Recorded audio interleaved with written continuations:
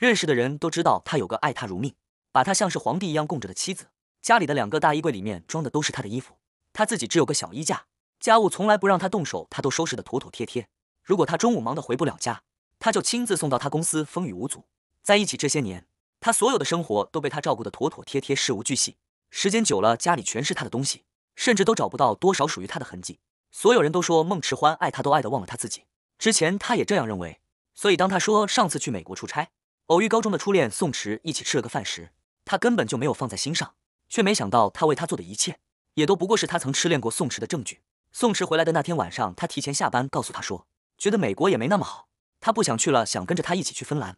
芬兰是沈燕最喜欢的国家，之前有好几次去芬兰的机会，沈燕请求孟迟欢跟他一起去，都被他拒绝了。没想到他突然想陪他一起去，沈燕高兴坏了。可凌晨两点却收到一条短视频，视频上一男一女在海边看夕阳，女的依偎在男人的怀中，一口一口喂他吃水果，女的脸上洋溢着甜蜜的笑，看男人的眼神满是纵容，正是宋迟和孟迟欢。沈燕看着画面，心凉了半截。她转过身想摇醒孟迟欢，问问为什么要背叛他。手机上又弹出一条信息：知道他为什么叫孟迟欢吗？是高三那年他为我改的名字，意思就是这一生一世，他只会讨我一个人的欢心。紧接着又一张照片发了进来，是一张泛黄的信纸，上面就写着那句话是孟迟欢的字迹。突然之间，他失去了去质问他的勇气，他怕自己真的是输了的那个人，怕这三年的婚姻从头到尾都是一个骗局。而且刚刚孟迟欢还说愿意陪他去芬兰，或许宋迟就是狗急跳墙才伪造了那个视频，挑拨他们夫妻之间的关系。对，就是这样。老公，你怎么还没睡？孟迟欢被手机的光线晃醒，迷迷糊糊伸手温柔抚上他的眼睛，快睡吧，老熬夜对身体不好，我会心疼。没事。沈燕开口，嗓子哑得厉害。怎么，你听上去像是要哭了？孟迟欢睁开了眼睛，一脸关切的看向他。沈燕，你不要吓我，有事跟我说。沈燕看向他，心头一片酸涩，正要说话，他的电话响了。孟迟欢接了电话，脸色大变。你就在那里，不要动，我马上过来。老公宋迟在酒吧喝醉了，我得马上过去一趟。他一把扯过外套，冲出了门。砰一声巨响，卧室里只剩下他一人。沈燕到了嘴边的话被堵了回去，幸亏他没有问，否则就是自取其辱。孟迟欢的心思果然还在宋迟的身上。难怪这三年来，每次他说要个孩子，他都找借口拒绝。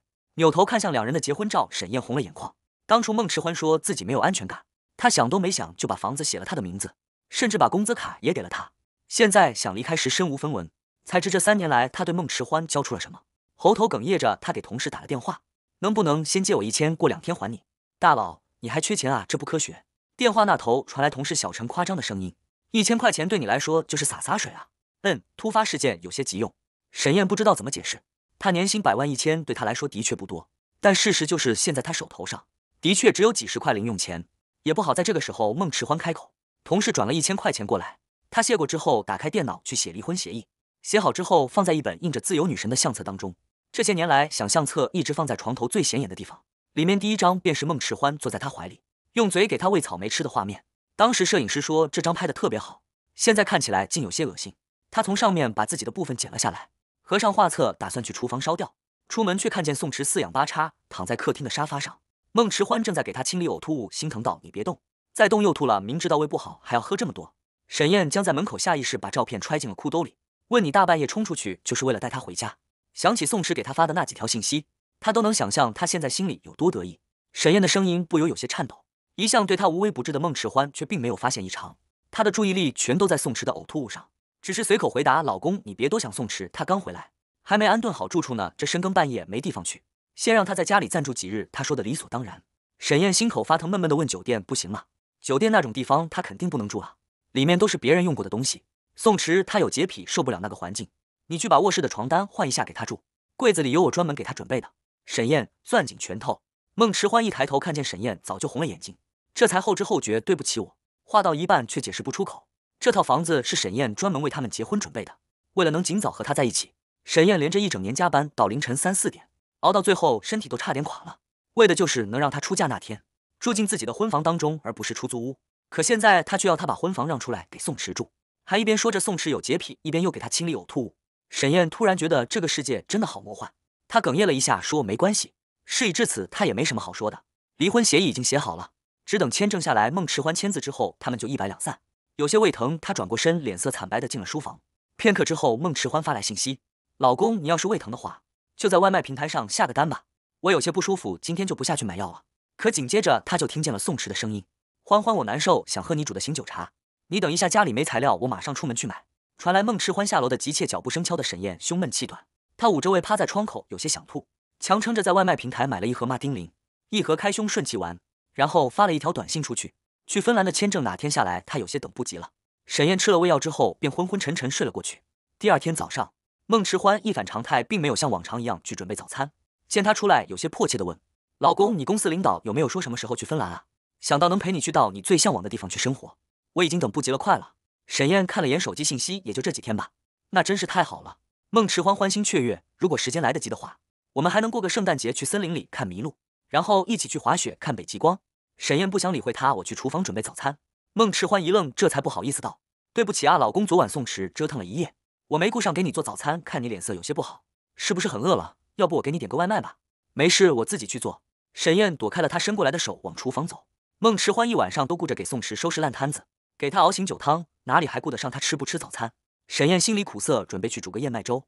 身后传来宋迟的声音：“欢欢，我突然想吃你做的瑞士卷。”行，你再去睡一会儿吧，我这就去给你做。孟迟欢走进厨房，扫了眼灶台，道：“老公，要不我给你点个外卖吧？”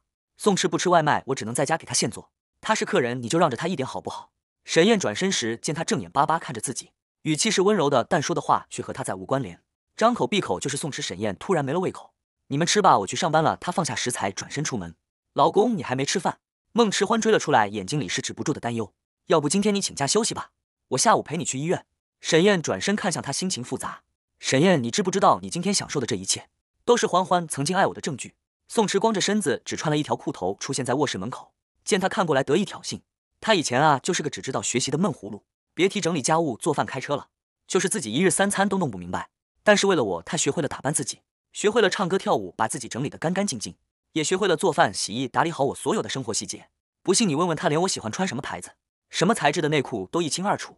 宋池的声音在他们的房间里轻快跳跃着，沈燕的目光落在他的裤头上，是和他一模一样的品牌、材质和款式。还有宋池昨晚换下来已经被洗干净挂在阳台上的衣服，都在他家的衣柜里挂了一模一样的套装。原来孟迟欢送给他的这一屋子的东西，竟没有一件和他有关，全是宋池留下的痕迹。他把他当成什么？胃疼的越发厉害起来。沈燕蹙眉看向孟迟欢。孟迟欢大概是发现了不妥，于是白了宋迟一眼。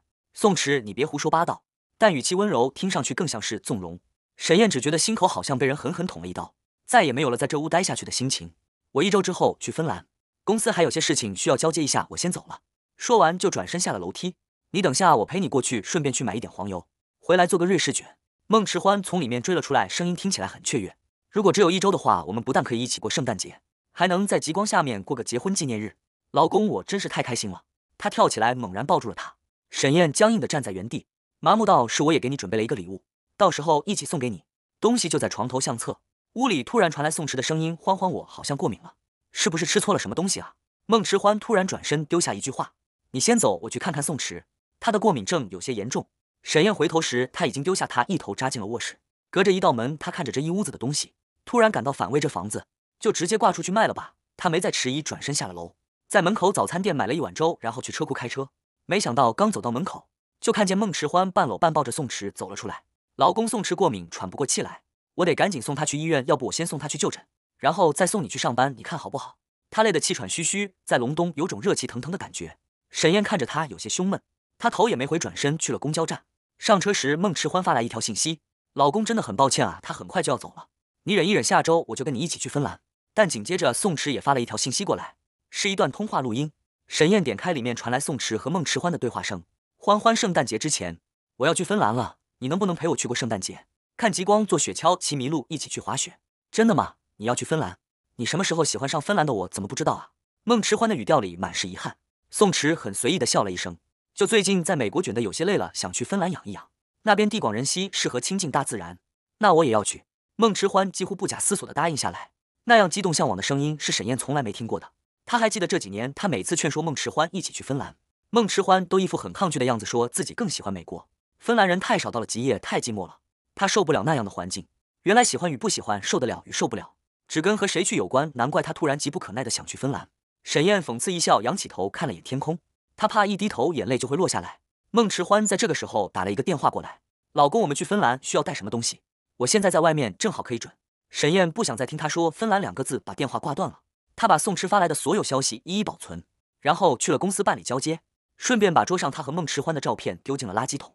之后给他发了个短信过去，芬兰那边的公司需要财产证明，你把工资卡准备一下，我抽空拿去办手续。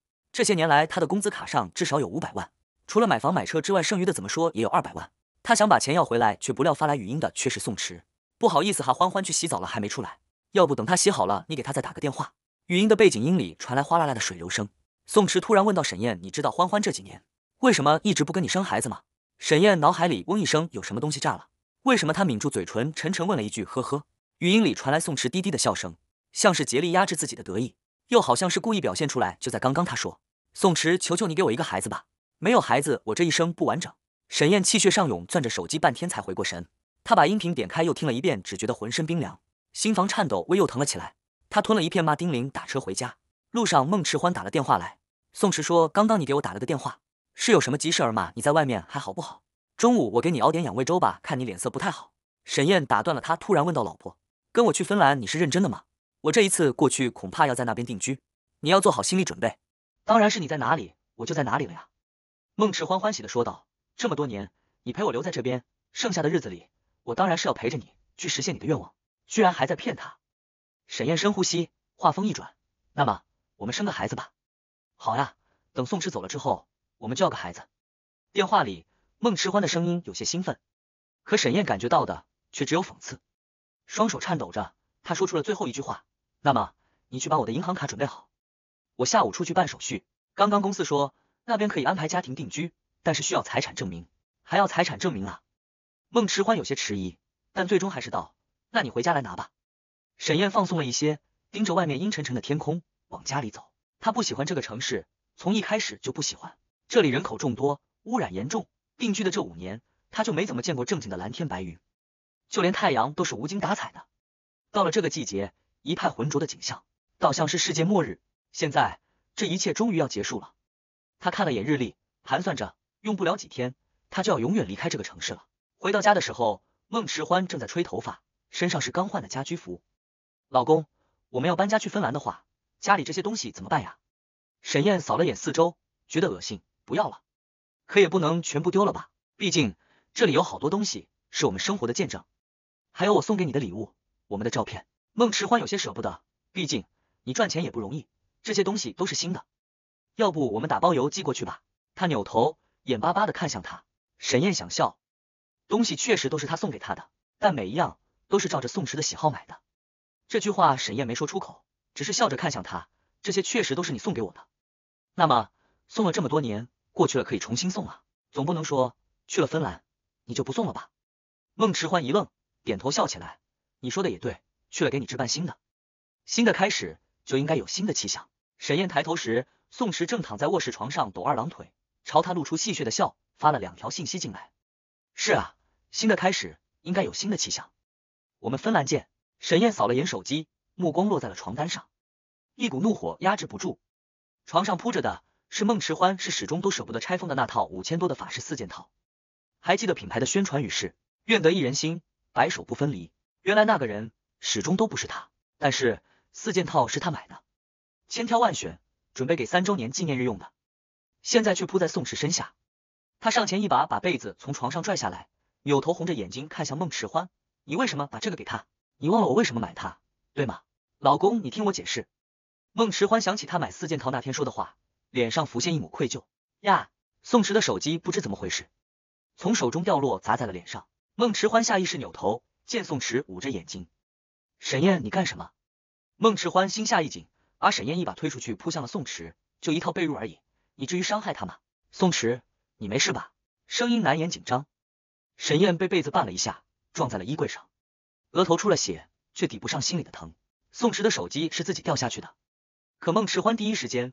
确实不分青红皂白对他动手，宋池有些得意，冲着沈燕挑了挑眉。孟迟欢没发现，抓起宋池的手上下检查他的眼睛有没有伤到哪里。我送你去医院，疼。宋池哼唧了一声，我去拿个毛巾给你敷一下。孟迟欢起来，白了眼沈燕，老公，我跟你在一起快五年了，没想到你这么小肚鸡肠，还有暴力倾向。他没注意到沈燕也捂着额头，血迹从指缝里涌出来。沈燕盯着他的背影出去，心里突然静了下来。宋池看向他，扑哧一声笑了。沈燕，你这样有意思吗？沈燕扭头看向他，你也看到了，他的眼睛里、心里自始至终都只有我一个。你就这样和他生活在一起，有意思吗？沈燕，你该不会是个受虐狂吧？宋池的眼睛里是看好戏的神采。沈燕没说话，他捂着额头自己回到书房，调出监控录像保存起来，抬眼看着外面飘雪的天空，突然之间就失了神。是啊，有意思吗？没有意思。他和孟迟欢之间是时候结束了。沈燕从外卖平台点了碘伏和止血药，叫小哥送上来。孟迟欢在外面忙来忙去，在宋池并不存在伤口的眼睛上冷敷了半个小时。沈燕出门拿药的时候，他才注意到他额头的伤口，愣了一瞬，扑上来问：“老公，你怎么伤成这样啊？你干什么了？这是？你真的不记得？”沈燕攥紧碘伏，看着这个三年同床共枕的女人，感到从未有过的陌生。孟迟欢被他盯得心虚，是不是我刚刚推你那一下？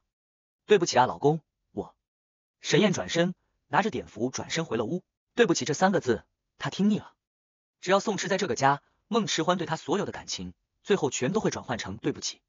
老公，我真的不是故意的，你原谅我好不好？其实宋池在家里我也感觉很烦，但他是客人嘛，过几天就走了。等我们去了芬兰，就会好起来。孟迟欢发来了两条信息，要不这样吧，这些年你不是一直说要回母校看看吗？那我们明天就去，让他在家里自己待着。沈燕不想答应，但她和孟迟欢的之间的事情，总要找个合适的机会说清楚。宋池在是说不明白的，也许回大学是个好时机。行，包扎好伤口后，沈燕找房屋中介把房子挂了出去。屋里的东西都不要了，如果有人要房子的话，看他怎么处理吧。都不要了。中介有些震惊，所有的东西，包括这些礼物，你们都不带走？不带了。沈燕关闭对话框，心口憋闷。他给孟迟欢发了个信息，老婆。既然宋池住不惯酒店，那这样吧，今天晚上我们出去住。我记得这几天正好是你的排卵期，我们要个孩子吧。孟迟欢拒绝了他，去酒店多费钱啊，老公赚钱辛苦，我可不想让你破费。这样吧，今天晚上我陪你一起睡书房，你看好不好？也行。但到了晚上，他却很抱歉的看着他说：“老公，实在是不好意思啊，宋池的过敏症又犯了，我晚上得守着他。毕竟现在他住在我们家，万一出点事，半夜休克了。”咱们也说不过去，正找着借口，抬头就看见沈燕眼底的讥诮。老公，我不是你想的那个意思。那是哪个意思？沈燕冷笑了一声，转身拿上了工资卡。我一个人出去睡吧，明天早上顺路去公司，下午在母校等你。说完就走出门去。孟迟欢在身后喊了一声：“那你在外面小心点啊，如果胃不舒服就去诊所看看。点外卖的时候不要点太油太辣。”沈燕戴上了耳机下楼，直接去了银行。但是没想到。卡里的钱比他想的少了很多，只有一百一十八万，剩下的一百万像是人间蒸发了。他气得攥紧手机，给孟迟欢打了个电话：“我工资卡里的钱呢？怎么少了那么多？”那个，我弟弟前些天出了点事儿急用，我把钱借给他了，还没来得及跟你说。电话里，孟迟欢有些局促：“老公，你放心，这钱很快就会还上的，我不会骗你。”说着就把电话挂断了。紧接着进来一条信息，是宋池发来的视频，上面。孟迟欢拿着一块名牌手表递给宋池，两人站在山顶上，旭日的光芒剪出唯美的背影。孟迟欢深情款款对宋池说：“宋池，我知道你一直想要这款手表，我给你买了，你喜欢吗？”那款手表的价格是八十万。沈燕攥紧了拳头，看着外面的血色模糊了双眼。为了攒钱让孟迟欢过上好日子，他没日没夜的工作加班。公司里的人女同事都说他是宠妻狂魔，难怪孟迟欢把他当个皇帝一样供着。现在他明白。孟迟欢心里是供着一个皇帝，但那个人是宋池，他没日没夜攒的钱也都被他拿去给宋池献殷勤了，一股浓浓的耻辱感涌上心头。他给孟迟欢的弟弟发了条信息：“你姐说你借了他八十万，我现在急用钱，你能把钱还给我吗？”很快，孟雨一个电话打过来：“姐夫，你胡说什么呀？我什么时候跟我姐要钱了？还八十万？我要那么多钱干什么？那你问问你姐。”沈燕挂断了电话，她倒要看看。孟迟欢还能装到什么时候？为了保险起见，沈燕把工资卡上的钱转走，并把工资卡挂失，又去银行把这些年的流水打印了两份，包括房屋购买清单，全都做了个备份。直到第二天下午，他才发了个消息给孟迟欢：“老婆，我在公司门口，你开车来接我吧。”不出意外，孟迟欢拒绝了他：“对不起啊，老公，我临时有事来不了了。刚刚接到电话，说我妈妈脑梗住院了，我凌晨四点就往家那边去了。见你这几天身体不太舒服。”就没有叫你一起过去，老公，你在家好好休息吧。我让宋迟搬出去了，床单和被套都已经换了回来。等我回来之后，我们就一起去芬兰，机票我已经订好了，我们后天走。沈燕看了眼日历，后天是他们结婚纪念日前三天。原本觉得过去之后在北极光之下过结婚纪念日挺浪漫的，但现在，现在他觉得还有两天就能离开这个恶心的城市和女人，才是最浪漫的事情。他闭了闭眼，给丈母娘打了个电话：“妈，欢欢说你脑梗住院了，你还好吗？”“是呀是呀，昨天晚上突然晕倒了，这会儿还在医院躺着呢。”挂断电话之后，他又给孟雨打过去：“孟雨，你妈脑梗住院。”你回家了吗，姐夫？最近怎么回事？先是打电话说我借了我姐八十万，又咒我妈脑梗。我告诉你，我既没欠你家钱，也没有一个脑梗的妈。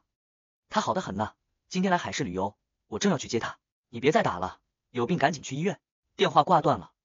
沈燕深呼吸，把所有的证据归类。孟迟欢骗她，已经骗出经验来了，还知道让他妈帮着圆谎。沈燕一时间不知说什么好。突然好几条信息弹了进来，一个人逛校园的感觉怎么样？要不你来远水一中吧，我告诉你什么才叫两情相悦。紧跟着一张照片进来，孟迟欢和宋迟手拉着手走在远水一中外面的街道上，他们十指相握，肩头紧紧靠在一起。沈燕突然红了眼眶，她还记得刚和孟迟欢谈恋爱那会儿，她有些腼腆，不敢太主动。是孟迟欢一把把她的手从兜里拉出来，和她十指交握，骄傲的说：“从今往后，你就是我的人了。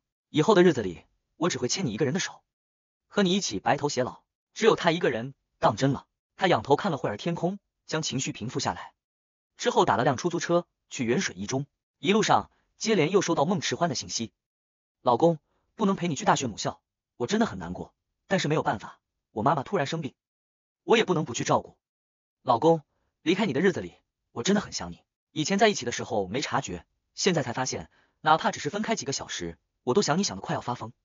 但与此同时，也收到了宋迟发来的照片。”他们在学校对面的烧烤摊打卡，在操场上拥抱，换上高中生的校服，隔着课桌打情骂俏。最后，宋池说：“今天晚上是他的排卵期，我们打算去学校后面的家人有约。他说，要是我们能生个男孩儿，就叫思宋；若生个女孩，就叫慕池。你要来吗？正好给我们的爱情做个见证。”沈燕盯着信息看了很久，没回复。老公，生孩子很疼很疼的，如果是剖腹产的话，要撕开八层才能把孩子拿出来，我好害怕。老公。今天是我排卵期，等过去了我们再爱爱好不好？可是我们有避孕套啊，那也不行，避孕套也有一定的几率怀上，我还没做好准备。这是上个月他和孟迟欢之间的对话。沈燕下车时，脑海里来回滚动着这些声音。外面天已经彻底黑了，雪下的很大。他把手往衣兜里缩了缩，转身进了路边的包子铺。同事小陈打来电话，燕哥，你和嫂子后天走是不是？我们一起吃个饭呗，要不约明儿个？不了，我先把钱还给你。等下次你来北欧，我请你吃饭。沈燕转了一千块钱给他，解释道：“明天我可能要提前出发了，真的很抱歉。”这么快啊？那行，我们下次再约。挂断电话，正要起身，冷不丁就看见一道熟悉的身影急匆匆进来对面超市。他愣了一瞬，忍着心痛给他打电话：“老婆，你现在人在哪里？外面下大雪了，你妈妈还好吗？”已经醒来了，你不要担心啊，老公，我今晚再陪她一晚上，明天我就回家去找你。你有没有什么想吃的土特产？我回去给你带。他从超市里走出来，手上拎着一堆东西，冻得直哈气，但是脸上却是热情洋溢的。沈燕看着他睁眼说瞎话，眼底露出一瞬间的怔忪。他什么时候变成了这个样子？还是从一开始他就是这个样子的？如果他演的这一切全都是为了宋池，那么这些年他算什么？老公，你怎么不说话？孟迟欢半天没听到他回答，追问。沈燕冷眼看着他上楼，道：没什么，就是三周年结婚纪念。我给你准备了一些礼物，第一份放在我们床头柜的那个相册里，你回家之后签个字。第二份啊，真的吗？他话没说完就被孟迟欢着急打断了。那太好了，等我回家之后去看。嘟嘟嘟，电话已经被急不可耐的挂断了。沈燕盯着黑漆漆的屏幕，心里一片冰凉。他竟然连听他把话说完的耐心都没有。没过多久，宋池发了视频过来，他躺在床上，隔着一道玻璃门，孟迟欢在里面洗澡，视线没有任何遮挡。配文三零幺，你要来观摩一下吗？沈燕红了眼睛，站在风雪中拨了个电话出去。喂，幺幺零嘛，家人有约三百零一，有人在嫖娼。之后便打车前往飞机场。片刻之后，孟迟欢和宋迟光溜溜的被警察从家人有约提了出来，照片迅速在网上传开。沈燕给孟迟欢的公司领导打了个电话，很快人事的电话打到了孟迟欢手机上。孟迟欢，你到底怎么回事？请假一周也就罢了，现在网上还传出你出去嫖娼。刚刚你老公打电话过来，问你今天来没来上班，你让我们怎么回答？你说什么？孟迟慌慌了，他赶紧给沈燕打了个电话。老公，你听我解释，事情不是你看到的那样的，那是什么样的？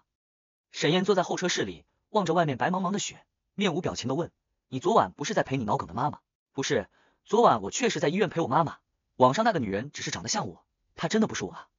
老公，你误会我了，我没有。孟迟欢还想狡辩，沈燕打断了他。昨天晚上是我打的幺幺零。什么？孟迟欢僵住，突然紧张到头皮发麻。老公，昨天下午你不是去母校了吗？难为他这个时候还在绞尽脑汁试探他。沈燕心下冷笑，看了眼时间后，话锋一转，嘲弄道：“昨天晚上被抓的那个真的不是你。”孟迟欢没听出他语气当中的异常，他当即辩解：“真的不是我，老公，你相信我，昨天晚上我真的在我妈那里。不信的话，我现在给你打个视频好不好？我就在我妈身边。”不用了，沈燕不想看见他，而且以他这几天对他的了解，但凡他说要看视频，他肯定又要找借口说看不了。他懒得和他再纠缠下去，既然他不见棺材不掉泪，那他就陪他好好玩一玩。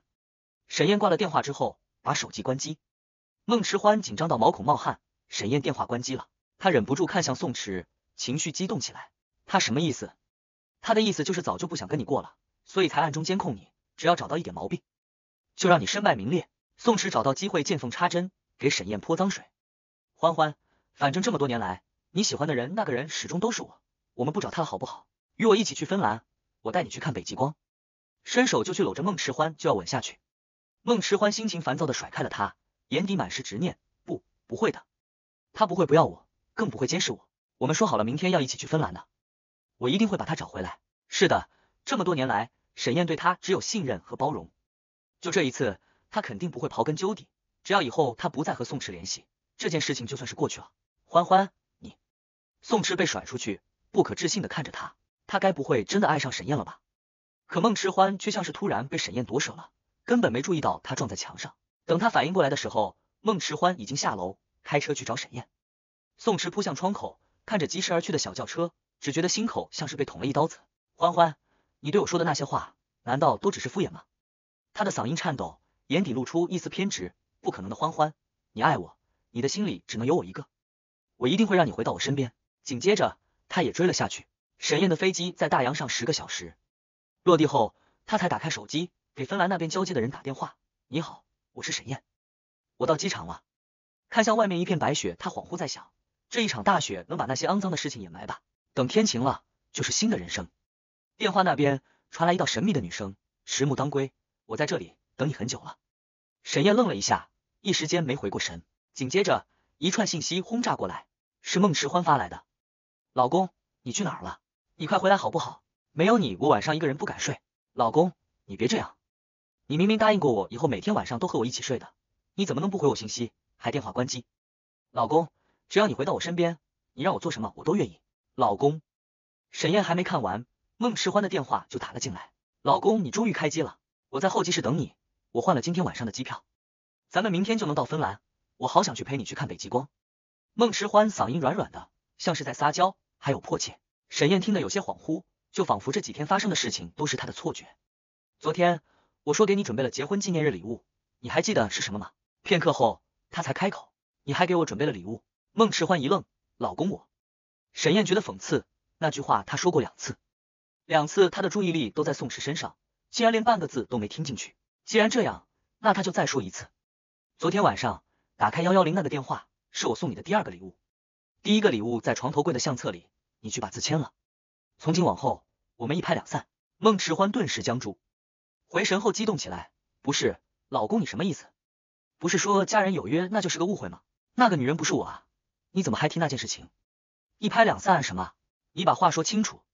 电话里，他的语调带上哭腔。老公，你不能这么对我。沈燕听着这些话，产生了一种错觉，就好像出轨背叛，拎着小三登堂入室的那人变成了他，他才是受害者。这是你应得的。他沉默了片刻，把电话挂断，随后发了一段录像过去。孟迟欢看到录像，浑身的血僵住了，他的双手开始颤抖。录像是家人有约的监控，那家店经过这么多年，早就成了黑店，房间里藏着摄像头，把他和宋池在床上翻云覆雨的场景全都拍摄了下来。他只觉得脑子嗡一声，彻底慌了。怎么办？怎么办？这东西哪来的？他强迫自己冷静下来，给沈燕发信息：沈燕，我觉得是有人陷害我。视频里那个男的的确是宋池，可是宋池昨天一大早就走了，我是后来才去的医院找我妈。这女的真的不是我啊，老公，你相信我好不好？我现在就回家，你在家里等我。之后转身冲出了候机室，直奔家中。可打开门，里面却只有宋池一个人翘着二郎腿坐在沙发上看电视，屋里根本没有沈燕的影子。你怎么在这里？沈燕呢？孟迟欢脸色有些难看，话没说完就直接冲进了书房。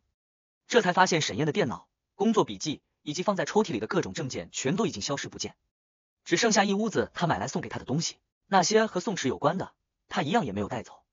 沈燕走了，他的心凉了半截。想到他说的礼物，走进卧室，拿起了床头柜上的相册，在看到的里面的离婚协议时，他犹如被当头一棒，眼前一黑，差点栽倒。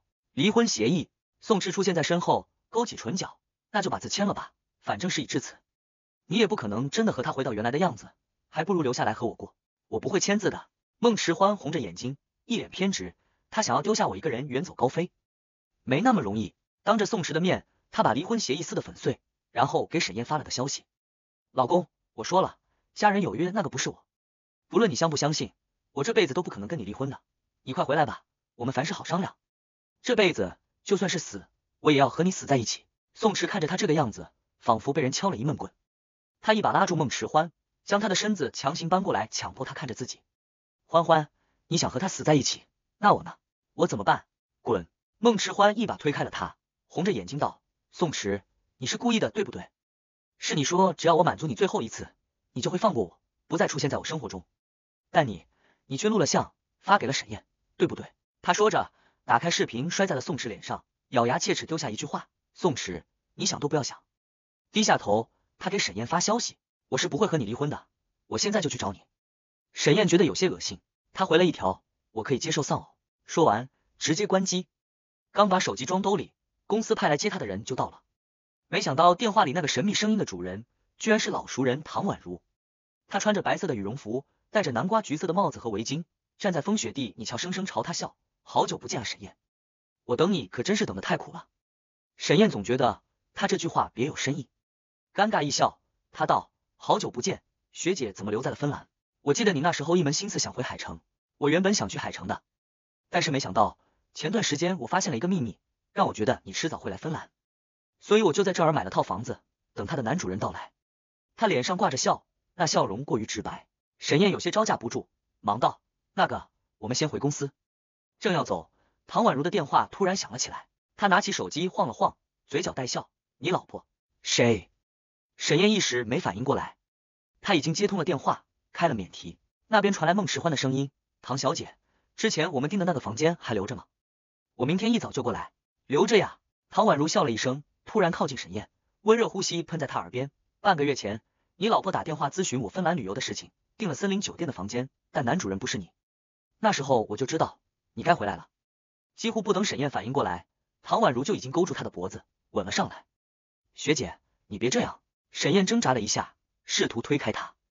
她现在还不想开始下一段感情，而且这太突然了。可刚挤出来两个字，孟迟欢的声音就在耳边炸开：“唐小姐，你在和谁说话？”我怎么听着像是我老公的声音？沈燕一把推开了唐宛如，站在不远处，表情复杂。你故意的？是啊。唐宛如眨眨眼，我和你老婆做了个局，正在仙人跳你呢。现在出轨的人是你，你再想离婚，可就要净身出户。这么多年，你熬的那些夜，加的那些班，都要付诸东流。看着他脸上笑意消失，沈燕浑身冰凉。她下意识看了眼他手机，我真的没想到，你居然和他勾结在了一起。所以你说的等我很久了。就是在和他里应外合，想把我赶出家门，让宋池住进去，是吗？他气得眼睛都红了。我告诉你，你们休想得逞！沈燕说完，拉着行李转身就走。他根本无法想象，如果孟迟欢和唐宛如之间认识，那他和孟迟欢这场恋爱到底算什么？当初可是唐宛如说喜欢他，如果不是他已经有了孟迟欢，他就要追她了。那个时候，孟迟欢在海城，他在芬兰当交换生，和从小在京都长大的唐宛如做了同学。按理说，这两人从未有过交集，现在不但有联系方式，还设计仙人跳塔。沈燕攥紧拳头，觉得自己此生失败至极，人生中总共遇上两个女人，却都是来算计她的。风雪中，她双眼通红，鼻头发酸，昏昏沉沉，正往公司方向走。唐宛如却突然从背后扑过来，紧紧抱住了她，哽咽道：“沈燕，我在逗你呢，我怎么会和他认识？他是我社交平台的粉丝，私信我让我帮忙找酒店才认识的。如果不是他提交了个人信息，我都不知道她是你老婆，而且已经背叛了你。沈燕，我只是心疼你，对不起。”沈燕挣扎了一下，唐宛如把她搂得紧紧的，死活不肯撒开。沈燕，虽然这几年我在芬兰，你在海城，但是你在公司那些事情。我都是知道的，你知道我听见你为了给他买房，没日没夜的加班，最长一次整整十一天只睡了八个小时时，我什么感受吗？可他怎么对你的？他住着你的房子，花着你的血汗钱，却在芬兰给小三订酒店，要一起出来玩，订的那个旅游套餐三万欧元，那可是将近三十万人民币啊！我真的气不过，气他欺负你，气你任由他摆布，却不肯回头看一眼我，背后的身子微微颤抖着，他哭了。沈燕心头的怒火被哭泣声浇灭。仰起头来，试图压制酸楚，泪水却模糊了双眼。天空一片白茫茫的，唐宛如每个字都说在他心坎上。所以，工资卡里面少的那三十万，是被孟迟欢拿去给宋池订旅游套餐花出去了。加上那一块表，就是他一整年的工资和奖金，都被宋迟欢拿去给宋池献殷勤。到现在居然还一副无辜模样，仿佛背叛抛弃了婚姻的那个人是他一样。沈燕，唐宛如转过身来，哭过的脸上通红，仰头看向他。刚刚他打电话过来。我是忍不住想报复他一下，所以才对不起。没事。沈燕深呼吸了一口气，返回去道：“我们回公司吧。”他主动上了唐宛如的车。但是你有没有想过，我和孟迟欢还没有离婚，那边有冷静期，如果他不肯，还不知道要拖到什么时候去。这对你而言不值得。唐宛如上了驾驶位，哭过的双眼还红红的，但是语气却很坚定。沈燕，我已经等了你五年，再等五年也等得起。车子启动，碾过路面上的积雪。犹如剖开了沈燕埋藏在最深处的记忆。三年前那个冬天，唐宛如问他一定要回去吗？他就那么好，让你念念不忘。那时候他也像是今天这样坚定，此生我非他不娶。现在想来，真像是一个笑话。沉默了好久，他说我会和他离婚的。唐宛如扭头看向他，没有关系，无论你离不离婚，我都在这里。也没说相爱的人就一定要结婚。沈燕看着他，心情复杂，是他辜负了唐宛如。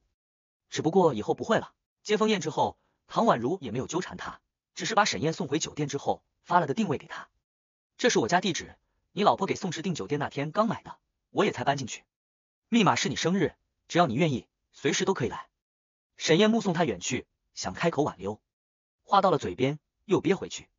等他的身影彻底消失在视线当中，他这才转身回房，却没想到刚一上楼，就看见孟迟欢正双眼发红的坐在楼道里等着。一双眼死死盯着电梯口，见他出来，便扑上来试图抱他。老公，你回来了，你怎么能丢下我一个人，自己跑来芬兰呢？明明说好了，我们一起去去坐雪橇，看极光的。沈燕躲开他，和谁说好的？宋池吗？孟迟欢眼神闪烁，你怎么又提到了他？我和他已经没关系了，你是不是还在怪我？沈燕见他还在演，懒得和他争辩，直接把他下的订单复印件甩他脸上。森林酒店，欧洲半月游，好需要多少证据？我这里都有。孟迟欢弯腰捡起那张订单，双手颤抖，嗓音失真。但他依旧没有认错，而是质问他这东西哪里来的。不等沈燕回答，他就咄咄逼人道：“是唐宛如对吧？这个订单是唐宛如一手经办的。如果不是他，你不可能得到这个东西。所以你老早就和他勾结在了一起，是不是？”宋池说的没错，是你先出轨，背叛了我们的感情，所以才着急想要甩开我，暗中监视我的，对不对？你早就不想要我了。他声嘶力竭，像个疯子一样开始胡搅蛮缠，丝毫不觉得自己错了。沈燕，你还是不是个男人？沈燕看着他，有些恍惚。和孟迟欢在一起这么多年，他真的没想到，他居然是个不讲道理的泼妇。但是现在，这些事情绑架不了他了。我不是。沈燕的回答有些冷淡。所以，孟迟欢，我们离婚吧。孟迟欢僵住了，他抬起头来，呆呆的看了他半晌，然后笑了。你的意思是，我们之间已经没有了商量的余地，对吗？沈燕开口，正要说话，被他打断。沈燕，我刚刚在电话里听见你和唐宛如苟且的声音了。现在你和我半斤八两。他上前试图去拉沈燕的手。你和唐宛如不干不净，我和宋池也发生了关系，我们都犯过一次错，扯平了好不好？以后我不提你和唐宛如，你也不要再提宋池，我们就在芬兰定居下来，好好过日子，好吗？沈燕被他口中的扯平二字差点笑死。他和宋池从高中纠缠到大学。再从大学纠缠到婚后，一起约着去开房，还把人堂而皇之带回家。而他和唐宛如之前没谈过，几年没联系，刚刚才见面，怎么扯平？沈燕笑了，想要扯平也可以啊。从今往后，唐宛如穿什么你就穿什么，哪怕是内裤也要一模一样。以后我把唐宛如带回家，睡我们的卧室，你住书房或者住酒店，怎么样？你说什么？孟迟欢炸了，你把我当成了什么？我是你老婆，不是他的替身，我还以为你是呢。沈燕懒得理会他，直接打电话给保安。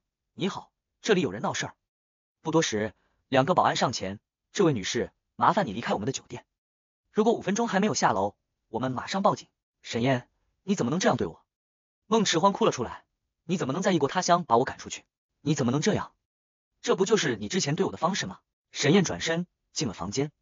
孟迟欢直愣愣被保镖架着走出去，站在冰天雪地里，才想起沈燕不是海城人。他出生在号称彩云之南的地方，那里山清水秀。对于他而言，海城也是异乡。为了他，沈燕放弃了回家，也放弃了去他最喜欢的芬兰，最后留在海城和他过日子。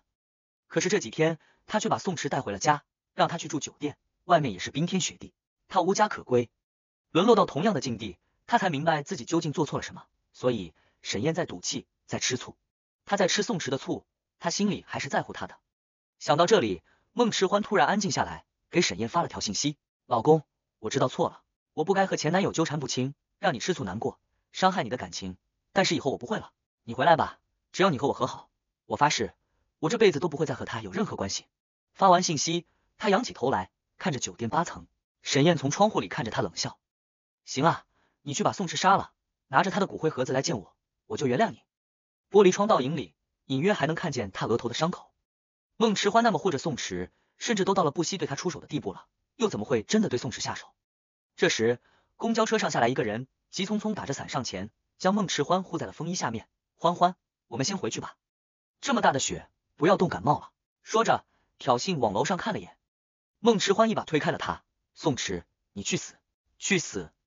手包砸在了宋池头上，两人瞬间扭打在了一起，很快被警察带走。沈燕看完戏，冷笑一声，拉上了窗帘。坐下来，打电话给国内的律师事务所，我想打离婚官司，一会儿把证据给你发过去。孟迟欢，你是不是疯了？为什么要对我动手？从警察局出来，回到临时租住的公寓，宋池盯着孟迟欢，眼神狐疑。你别告诉我，这些年你是真的爱上了沈燕？她就是个替身，是个赝品。不，她不是。孟迟欢眼神颤抖，盯着宋池，我爱她，她不是任何人的替身，你才是赝品。我从初中开始就喜欢上了她。他指着自己的脸，看到了吗？我为她整的容，全身上下都是照着她课本里那个女人整的。你才是赝品。他像是发疯一般喃喃道：“上高中后，我是找不到她了，所以才和你谈恋爱的。要不是你那时候和她长得像，你以为我会理你吗？我用你练习怎么对他好，怎么爱一个人，却没想到，没想到最后成了习惯。等与沈燕重逢，爱上他，和他在一起的时候，他已经习惯了对宋池好，习惯像是对待最爱的人那样对待宋池。”只要宋池在身边，他就止不住的偏向宋池，也模糊了宋池和沈燕的界限。孟迟欢崩溃大哭，宋池都愣住了，呆呆的看着他半晌，指着自己：“你说我是替身？孟迟欢，你特么该不会是疯了吧？你为了他去整容，把我当成恋爱对象，他自己知道吗？”他气得浑身颤抖，恨不得一脚踹死他，可他舍不得。他是孟迟欢的恋爱对象，孟迟欢却不是他的，他是他的初恋。宋池只觉得一口气憋在心口。忍不住一拳头砸在了墙上，最后他给沈燕发信息：“沈燕，你他妈知不知道欢欢曾经为了你整过容？你他妈是眼瞎看不见吗？他整容成了你意孕对象的样子。”宋池的信息沈燕收到过很多，保存了很多证据，可是现在这一条却让沈燕有些迷惑。你在说什么东西？他什么时候整容了？我什么时候有的意孕对象？你以为我是你？神经！发完短信，他把宋池给拉黑了。妈的！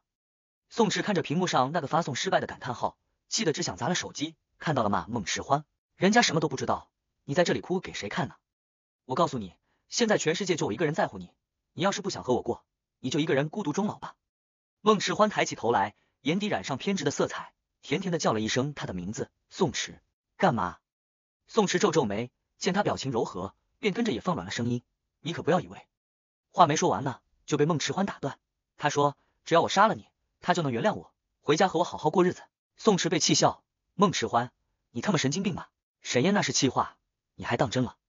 可看他那个眼神，披头散发的样子，他真的有些毛骨悚然。但宋迟欢却没有多说什么，而是话锋一转，很温柔的说：“宋迟，我订的欧洲半月游明天就要开始了，今天晚上我们入住森林酒店吧。”他缓缓上前，拉住他的手，眼神缱绻的看向他的脸：“我陪你去看麋鹿，坐雪橇，看极光。”扶手，他在他手背上亲了一口，柔声说道：“把所有的愿望都完成。”四周寂静，只剩下雪落的声音。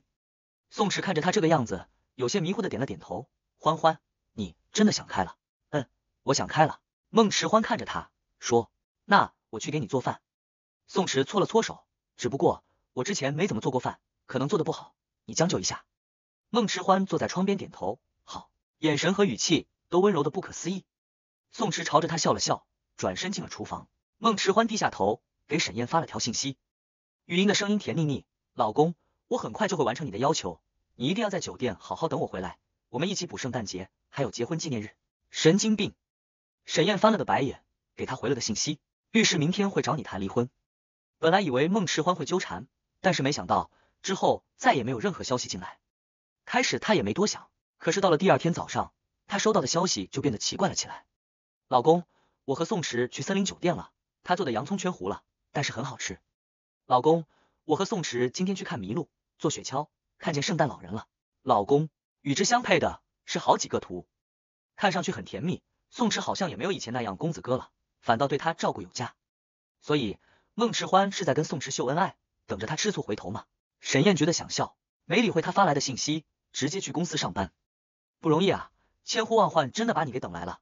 这是刚到手的案子，非常棘手，就交给你和宛如了。经理直接把文件给了他，还伸手拍拍他肩膀，一语双关道：加油。我看好你。一旁，唐宛如笑得很得体，只是脸上有一抹红晕。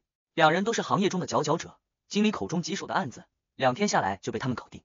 庆功宴后，唐宛如借着醉酒问他：“沈燕，我那房子一百三十平，又在湖边树林里，我一个人住着冷清，你真的不搬过来吗？”沈燕看着他，要说不心动是不可能的，还不到时候。他点了一根烟，拍拍他的肩膀道：“回去吧，等我把烂摊子收拾清楚了，就来你的小森林看看。”一言为定，被拒绝后，唐宛如的眼眶有些发红，但还是笑着朝着他伸出手。沈燕迟疑了片刻，和他勾了勾手指，一言为定。这一个下午，他都没有再收到任何信息，反倒是律师给他打了个电话：“沈先生，我联系过您的妻子，但是他拒绝了与我沟通，还说让我不要打扰他，他正在给你准备赔罪的礼物。什么情况啊？你们要和好了？没有的事情，你继续和他谈吧。如果明早他还不肯正面回应，就直接起诉到法院。”对于孟迟欢，沈燕现在没有什么耐心。可是你妻子说是你让他准备礼物的，律师迟疑道。沈燕正想否认，忽而想到前天那条信息。行啊，你去把宋迟杀了，拿着他的骨灰盒子来见我，我就原谅你。心头突然咯噔一下，他赶紧挂断电话，把宋池从黑名单抠出来，给他发了个消息过去。宋池，你在哪里？这个疯女人，她该不会是要当真了吧？沈燕心里有些摇摆，虽然孟迟欢大概率是在拿她涮着玩。但是万一呢？万一她真的疯了，那她就是教唆杀人。原本昏昏欲睡的沈燕睡意全无，直接给孟迟欢打电话：“孟迟欢，你人在哪里？”对面传来哗啦啦的水流声，随后是孟迟欢甜的发腻的声音：“老公，快了，再等一个小时，一个小时之后我就能带着求和的礼物来见你了。你在酒店等我，好不好？我不能没有你。你到底在哪里？”沈燕心头好警钟大起，赶紧把定位发给我。可是。孟迟欢挂断了电话，在打的时候，他的电话已关机。妈的！沈燕顾不上睡觉，只得起来穿好衣服下楼冲进车里，给宋迟发了个信息：宋迟，马上跑！孟迟欢要杀你！宋池还是没有回应。沈燕愣住了，盯着手机看了几秒，然后给宋池打电话。宋池的手机一直在响，可是没有人接听。沈燕只觉得脑袋嗡嗡作响，他当时就说了一句气话，而且之前孟迟欢那么护着宋迟。就连宋池手机掉脸上了，他都大惊小怪的。要说他会对宋池下杀手，谁信？可是这两天发生的事情，却让他越想越诡异。不行，他必须要阻止孟迟欢发疯。离婚是一茬，杀人就是另一茬了。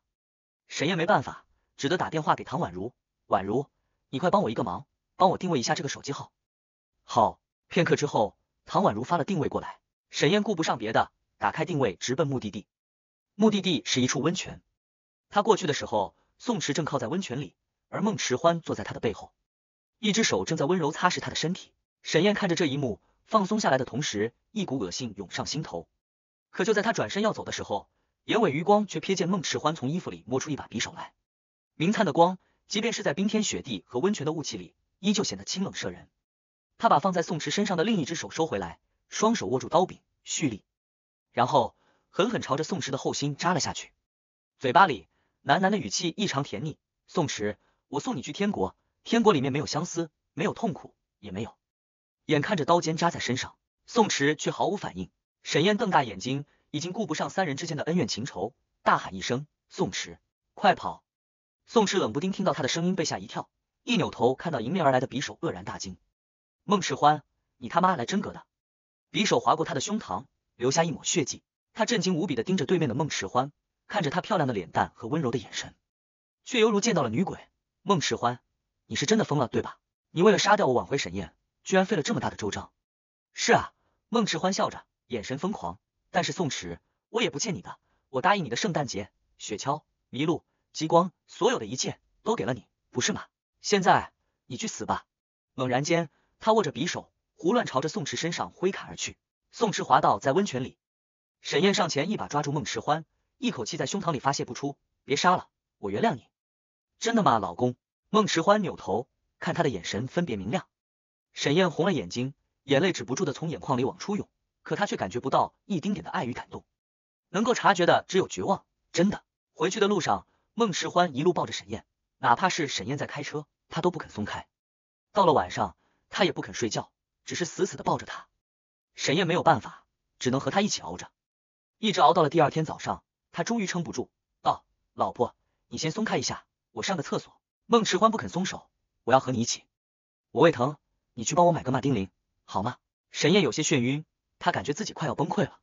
孟迟欢看了他好久好久，才说：“好，那你就在这里等着我，哪里都不要去。”沈燕报了警，可是没有想到，十分钟之后。有人打来电话，请问您是沈燕先生吗？这里有个人命案，可能和你有关，麻烦你下来一趟。什么？沈燕一僵，没反应过来，但他还是迅速穿上衣服，冲下楼去。白茫茫的大雪当中，孟迟欢倒在血泊里，大口大口的吐着血。沈燕，你和宋池一起算计我，对吗？沈燕说不出话。刚刚的确是他算计他，让他去买药，然后报了警。可是是谁要杀他？沈燕扫了一眼四周，除了他自己和警察之外。四周其实并没有人，只有孟迟欢的声音穿透风雪而来，犹如九幽地狱爬出的恶鬼。你语文课本里那个女人究竟是谁？什么？沈燕皱眉，下意识摸出手机拨打救护电话。别白费力气了。孟迟欢却嗤笑了一声，这不就是你想要的吗？是你叫了警察，不就是想要把我抓起来吗？我不会进监狱的。呵呵呵。他笑着吐了一口血，倒在了地面上，气若游丝。沈燕，我这辈子最后悔的事情就是遇见你。又看见你书里那个女人，现在如了你的愿，让你丧偶。说完，他就闭上了眼睛。你在说什么东西？他说的话，沈燕一个字都听不懂。他有些慌乱的上前，想要把他抱起来，让他撑住去医院，却被冲出来的宋池撞开。欢欢，欢欢，你为什么要这样？为什么要这样啊？宋池抱着他崩溃，抬眼看向沈燕，瞳孔颤抖。沈燕，你知不知道，他从小到大爱过的人就只有你一个。沈燕被撞了个趔趄。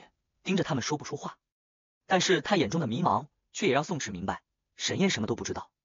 等救护车来的时候，孟迟欢咽了气，宋池哭得昏天黑地。沈燕看着这一幕，感觉自己完全就是一个外人，可又被奇怪的牵扯在这段关系当中，内心沉痛无以复加。他有些麻木的跟着警察去做了笔录，因为涉嫌人命，孟迟欢的尸体被大使馆接走，他作为家属跟着回国，但是宋池也跟着来了。这一次他没拒绝。两个人坐在飞机上，心情都无比沉重。是沈燕先开口，她口中的语文课本里面的女人是怎么回事？宋池都被气笑了。沈燕，你可真行。但见沈燕真的不知情，他才叹了口气，说：“我现在成年了，再加上做了个微整，所以和高中的时候不一样。如果你见过我高中时候的照片，可能就会觉得我们俩长得有点像吧。”沈燕愕然，你整容了？宋池眼底一片苦涩，我是艺人，微整很正常，但是我没有想到。在遇见孟迟欢之前，他已经整容了。沈燕更加震惊，她才发现和孟迟欢在一起五年多，他竟然对他的过往一无所知。孟迟欢也从未对他说起过这些，那他为什么整容？沈燕问。宋池扭头盯着他，我真的替他感到不值。沈燕没说话，宋池叹了口气，道：“她整容是因为发现你语文课本当中放着一个女人的露体照片，他以为那是你喜欢的人，为了和你在一起，他整容成了那个女人的样子。”忽然，他话锋一转，看向沈燕：“那个女人是谁？”沈燕仿佛听了一个不属于她的故事，绞尽脑汁，她也没想起那张照片。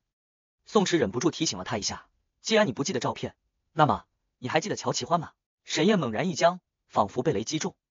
他的初中同桌叫乔奇欢，记忆中他经常坐在窗户边上，看着外面的花坛发呆，也不知道他在想什么。他是转学生，和其他同学都很少说话，唯独和他总有说不完的话。打听着打听那，就差查他家的户口本了。开始他有点烦，逐渐的他有点喜欢他。只可惜后来上了高中，他就因为父亲工作调动的原因去了外地，逐渐的忘掉了这么个人。想到这里，他的心跳加速。你是说孟迟欢是乔启欢？没有错，乔是他爸爸的姓。后来他爸爸和他妈妈离婚了，所以他就改成了孟启欢。宋池说到这里，眼眶发红。我在高中时候遇上了他，开始的时候他很高冷，和谁都不说话。一心只知道埋头学习。后来有一天，我们打了个照面，距离很近。他突然开口说：“你看起来好眼熟。”我那个时候还以为他是喜欢上了我，故意搭讪，说他搭讪的方式好俗气。宋池哽咽起来，低头任由眼泪掉下来。从那之后，他学会了打扮、做饭、洗衣服，甚至偷偷跑去我宿舍，把我换下来的衣服洗掉，闹得全宿舍都笑我。我以为那一切都是因为我，却没想到我只不过是你一个替身而已。宋池自嘲一笑。突然抬头看着沈燕，你遇见他的时候，没觉得他和你课本你那个女人很像吗？沈燕说不出话，直到现在，他才隐约想起那照片的事情，道：那不是照片，是当时有人恶作剧，往我课本里放的打印图，故意整我的。发现之后，我就丢垃圾桶了。到现在，自然什么也不记得。宋池闻言，都不知道说什么好。我还以为是什么女人了不得的照片呢。孟迟欢就是一个傻逼。沈燕看着他这个样子，突然感觉他们三个当中。